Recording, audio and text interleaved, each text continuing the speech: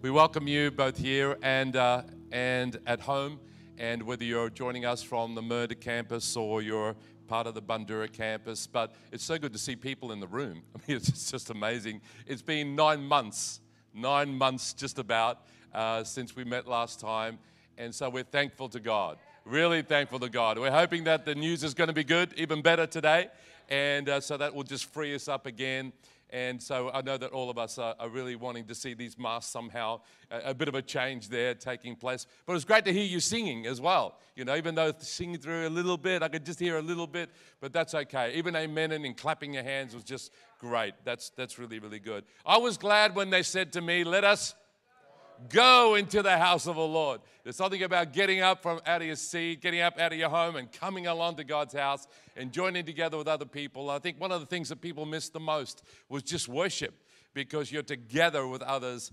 And, uh, and so today, you know, we have that opportunity. And even if you're joining us online as well, if you haven't visited our church, you're in the vicinity, we'd love to have you as part of our guests.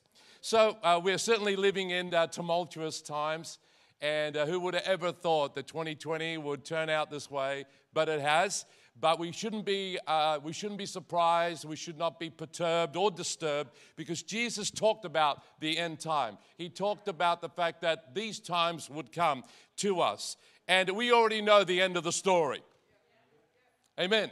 We already know the end of the story. I don't know if you've ever watched a movie or, or maybe you read a book and it gets really tense in the middle, but because you've watched it before, it just relieves the tension because you go, I know it's tense, but, but you know, he, he survives. And, and, the same way with us. We know the end of the story. In fact, the Word of God tells us about the end times. In fact, one in four verses somehow alludes to the fact that Jesus is coming again and we need to be prepared. And so this is the last message.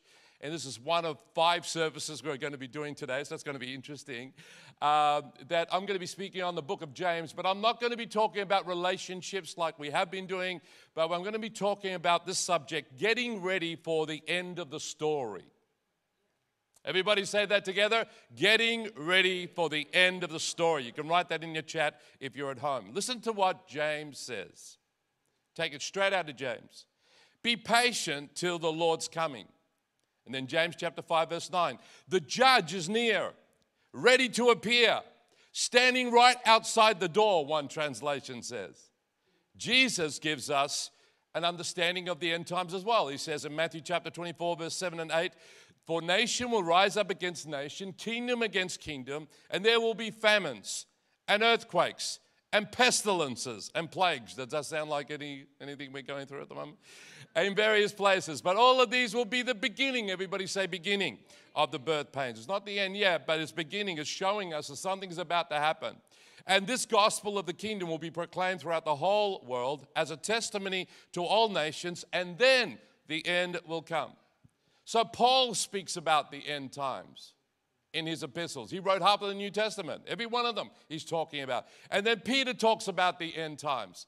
In 2 Peter chapter 3 verse 10 it says, "But the day of the Lord will come like a thief." Everyone say thief. And then the heavens will pass away and the works that are done on it will be exposed.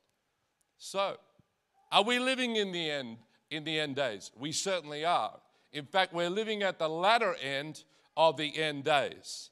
And there's a whole lot of shaking that's going on in this world. In fact, Hebrews tells us that there's going to be a shaking of the world systems. Uh, I'll read you one more verse just to build a case here that we are where we are. In Hebrews chapter 12, verse 26, it says, God says, And once and for all, I will, uh, I will not only shake the systems of the world, but also the unseen powers in the heavenly realm. You know, so we've just gone through a pandemic. We're still going through a pandemic. And you have to admit that we've learned a few things about how prophecies actually can be fulfilled. You know, we used to think about this as a, as a theory, but now we know that governments can control. They can monitor your every movement. They can, they can control what you, when you go to buy, when you, go, when you, when you can't go. They, they can track your every movement. They can regulate what you do. And really, it is scary. You got drones looking uh, uh, over above us. There, is, uh, there is technology to identify who you are. And so we realize that it's not so implausible. what Jesus is saying. In fact, three times in the book of Matthew, Matthew 24, Jesus says, Get ready. Get ready. Get ready. Everyone say, Get ready. Get ready. Write it in the chat. Get ready. All right, write it down somewhere. Get ready. How do you get ready for the coming of the Lord? I want to give you five quick, quick things today. Number one, you get ready by focusing on the eternal. You know, the, the very fact that we are living where we are today says that we should be focusing more than what uh, this life has to give to us. In fact, time and time again in the scripture says, don't just live for the here and now. Don't just live for the here and now. Don't just live for the here and now. Because if you live for the here and now, you are a fool. You need to live as wise. You need to live as those whose eyes are fixed not just on the temporal, but also on the eternal. 2 Corinthians chapter 4 verse 18 says, "For we fix our eyes, read it with me, not on what is seen, but what is unseen. For what is seen is what temporary, and what is seen unseen is eternal." The fact is, we're on this planet for only a very short period of time in consideration of eternity. And so, and we're going to leave it all behind. I don't know, one of the things that uh, we haven't been able to do for a little while is get on a plane and fly somewhere. We're really all missing it. And the first thing that they do when you get on a plane is they give you instructions. And you would know this. They prepare you for the flight. And they'll say things like, buckle your seatbelt. They'll say, uh, find out where the nearest exit is. They'll say uh, things like, uh, you know, put on your life jacket, all of this. And then one of the things that they always say is this in case of emergency, leave everything behind. Leave everything behind. You might say, well, what about my expensive suit? Leave it behind. What about my important documents? Leave it behind. You leave everything behind. We place far too much significance on the temporary. We need to focus on the eternal. And that's the first thing. Get ready. How do you get ready for the end of the story? Focus on the eternal. Focus on the eternal. Number two, how do you get ready for the end of the story? Clean out the garbage. In James chapter 2, verse 2, it says, So speak and act like people who will be judged. Uh, I've been noticing uh, since the restrictions are starting to lift, seeing what people are doing up and down my street. Uh, before, when the restrictions are on, it was like ghost town.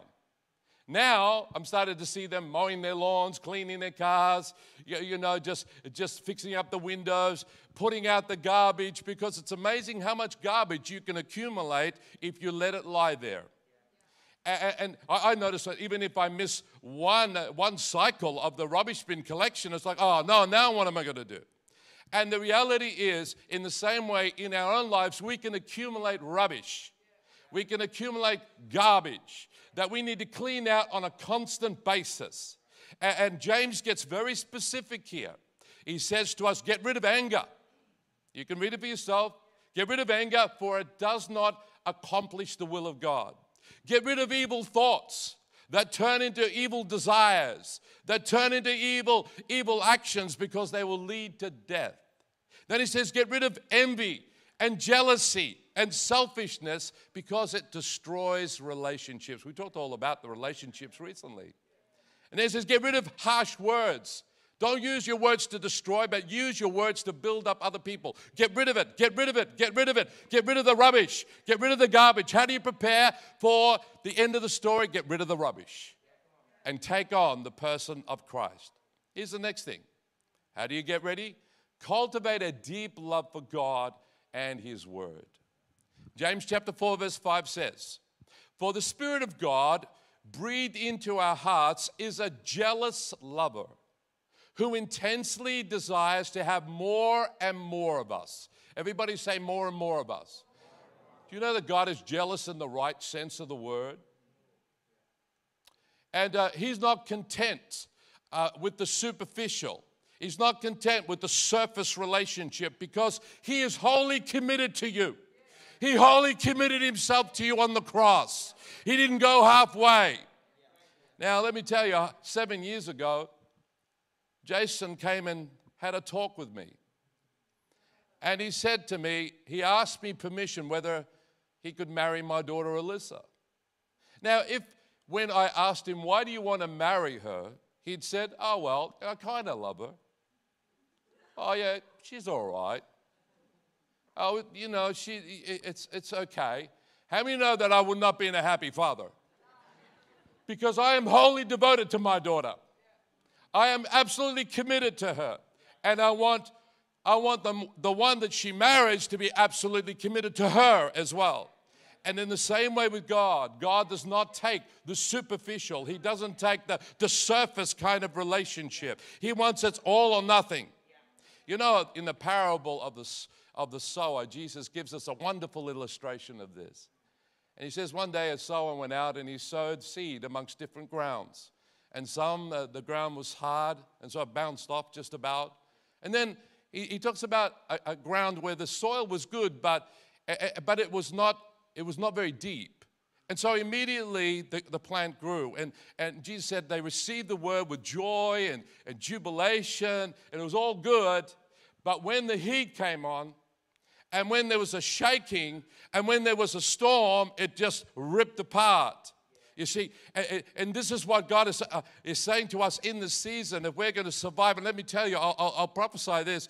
This is not the only shaking that's going to happen. There's going to be more shaking. I'm not going to be, I don't want to talk about being a, do, a doomsday person, but if we understand the end times, we know that, that there is a shaking that is coming, and this may be the beginning of the shaking, but only those who survive, who have a deep love for God, who have deep love for prayer, who have a deep love for to getting together as the people of God, who have a deep commitment to Christ, everything else will be shaken. Everything else will be shaken. Paul says this in Philippians chapter 1, verse 21 For me, to live is Christ. For me, others can do what they like, but for me to live is Christ, to die is gain. I don't care if they torture me, I don't care if they stone me, they beat me, I will not be shaken.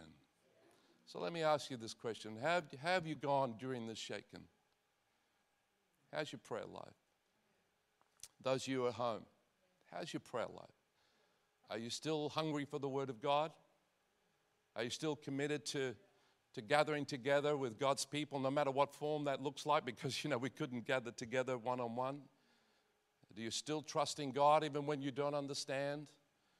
Are you still committed to giving to the house of God? How are you going? Or has it shaken you? How deep are your roots? Because let me tell you this that when the shaking occurs, the shallow drops off. Are you listening to the service, or were you listening to the service? Kind of with your hands folded. Oh, yeah, let's see what they come up with today. With your feet up on the lounge or on, on the couch, and, or were you leaning in?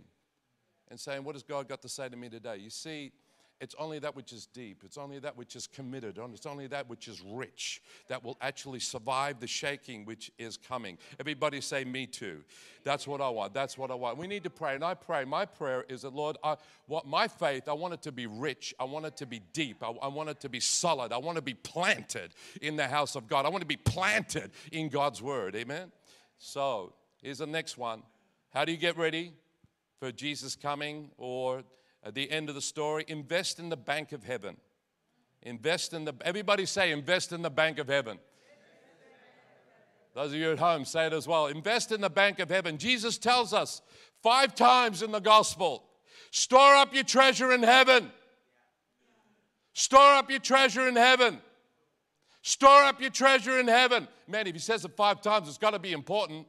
It has to be important.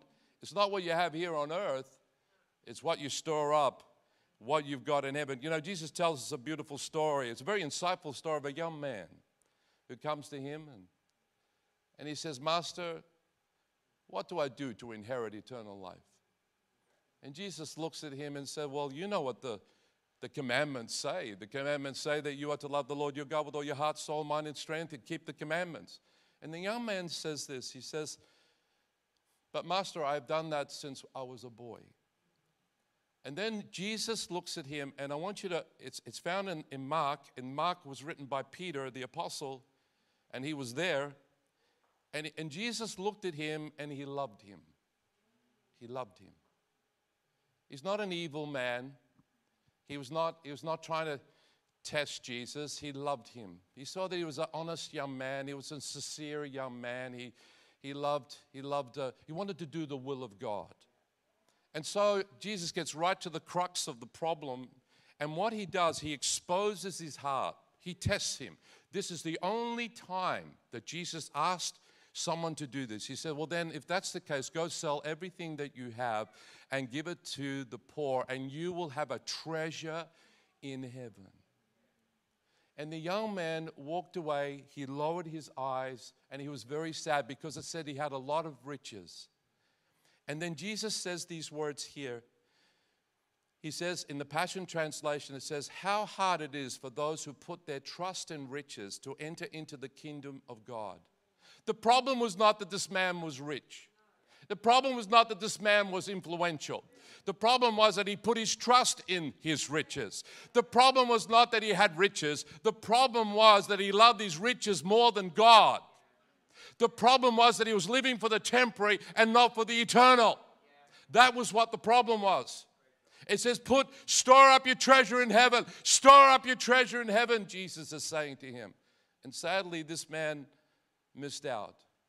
And so, can I ask you, both at home and here, now that we know the end of the story, where are you putting your treasure? Are you getting, if you like, deluded by the fact that you think it's all here? The reality is, we only live here for a very short period of time. That's why Jesus said, Seek ye first the kingdom of heaven and, and his righteousness, and all these other things shall be what? Added to you added to you. Last one.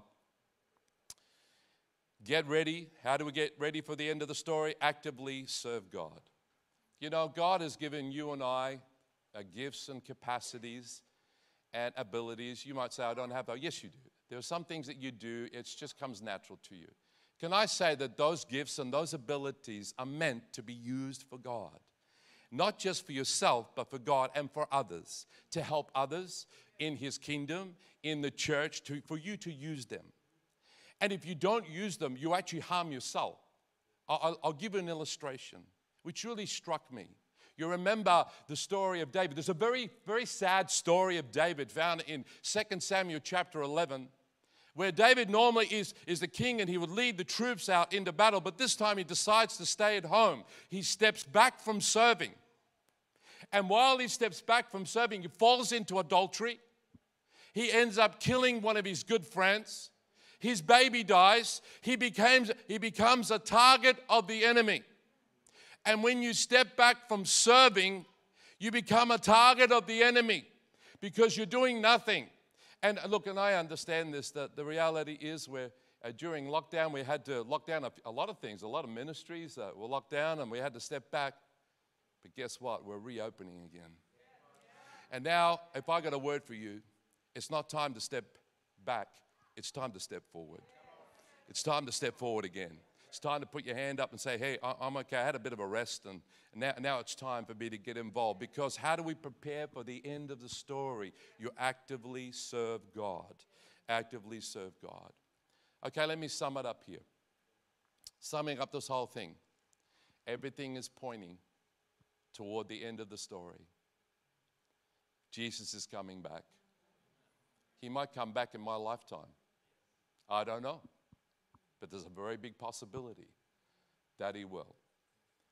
And I don't know about you, but I don't want to stand before him, whether it's his coming or whether it's my time to meet him, embarrassed and ashamed. Because I spent all of my time and I spent uh, uh, most of my abilities on myself and on the temporary. I want to be able to say, Lord, I've served you. Just like the Apostle Paul says, As for me and my house, I will serve the Lord. For me to live is Christ, to die is gain. So, how do we get ready for the end of the story? We position ourselves. You shake yourself from where you are and you position yourself. And I wonder whether you're joining us uh, at home and here, I want us to stand and maybe pray, pray this prayer. If you can pray this with me, that we start to shift some things. We talked about a year of shift, that we shift ourselves right in the middle of God's will. And we, can I just say that whenever you're journeying somewhere, that you have to continually shift. If you take the wrong turn, thank God I've got a GPS that always brings me back. I'm terrible with directions, and it shifts me back to where I need to go. And that's the way the Christian life is. That's why the Peter says, I remind you of these things. I know that you know them, but I remind you to get back on the right track so that you're living a life that is effective for God. Amen. Amen. So, can you pray with me? Lord, we, we make some adjustments today. Lord God, we make adjustments in our in our life, Lord God, if we've just taken a little bit of the wrong track, we've got caught up with things that really don't matter all that much, which are insignificant in regards to that which is eternal. And Lord God, today, Lord, we focus on the eternal rather than the temporary. Lord God, we make that, we reposition ourselves and say, oh, Lord, we want to make some decisions there. Lord, we clean out the garbage, Lord. Lord God, we cultivate a deep love for you. Lord, we don't want to be shallow. We want to be deep in our relationship with you. Lord, we have, want to have a hunger for the word of God. We want to, we want to know you, Lord God. Lord, we, we, we ship, Lord. We invest in the bank of heaven. Lord God, our resources and our ability. And Lord, we commit ourselves to serving you in this new season. Lord God, that we commit to serving you with the gifts that we have. We will not step back, we will step forward. Everybody say, step forward. We will not step back, we will step forward into your will and that which you have for us, Lord. Lord, in the name of Jesus, Lord God, we pray. Everybody say, in Jesus' name, amen. amen. Can I just say a couple more things? You know, some people say, why is it that Jesus has not come back yet? Well, I'll read it to you in Scripture. God is not wanting that any should perish, but that all should come to repentance. There are still some more to come. The number is not filled yet. And maybe, whether you're at home or whether you are here in this meeting, maybe it's you. Maybe it's you. Maybe He's waiting for you. Maybe He's waiting for you to come home. And can I ask you this question? If you were to stand before God today, would you know that you're ready? Or would you feel ashamed? You say, How do I get ready? It's found in the scripture repentance. There is no other way. I can't sugarcoat it. You have to turn from the way you're living to live for God. You place yourself under God's authority. You say, Lord, come and live in me. Come and make your home in me. Lord, I desire to do your will. Let me tell you, God is calling you today. He's calling you by name. He's waiting for you. That's why He hasn't come back yet. I want everyone to close their eyes just for a moment, whether you're here or at home. And, and if that's your prayer, you say, I need to, I need to come back home. I need to give my life to the Lord.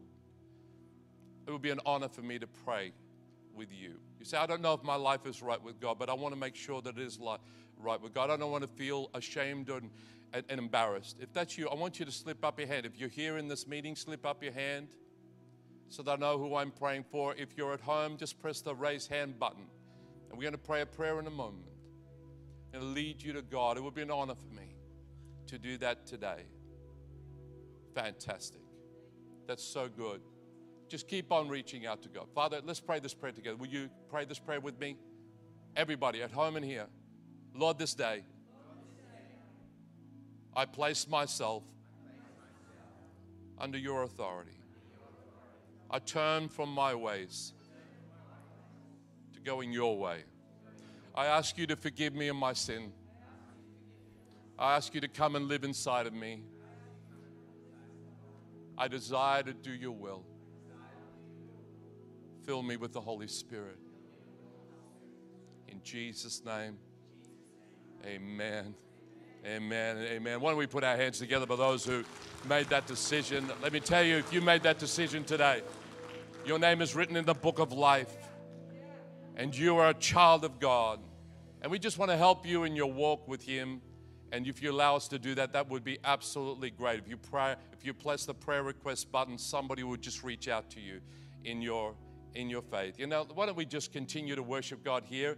And uh, let's and at home we're going to be singing a song of worship to Him. But let's give Him praise. Get ready, get ready. Everybody say, get ready, get ready, get ready, get ready for the end of the story. In Jesus' name, Amen. God bless you.